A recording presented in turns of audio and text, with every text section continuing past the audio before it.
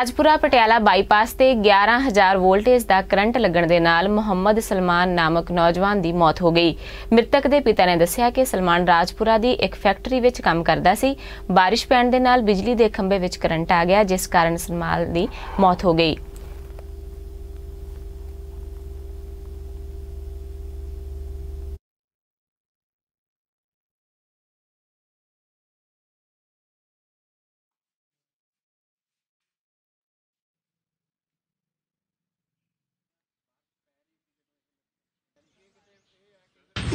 ਇਹ ਮੁਹੰਮਦ ਸਲਮਾਨ ਉਹਨਾਂ ਦਾ ਲੜਕਾ ਸੀ ਇੱਥੇ ਉਮਰ 18 ਸਾਲ ਬਾਈਪਾਸ ਤੇ ਇਹ ਫੈਕਟਰੀ 'ਚ ਕੰਮ ਕਰਦਾ ਸੀ। ਸਵੇਰੇ ਸਵੇਰੇ ਘੁੰਮਣ ਲਈ ਬਾਹਰ ਨਿਕਲਿਆ ਤੇ 11000 ਵੋਲਟ ਦੀ ਲਾਈਨ ਹੈ।